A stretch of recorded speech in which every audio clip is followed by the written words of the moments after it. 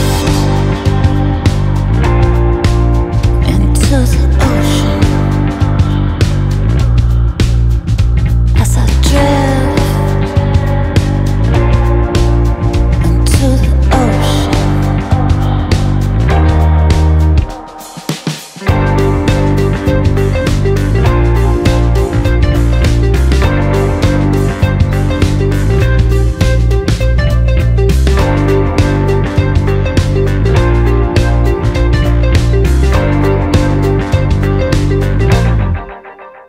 as I drift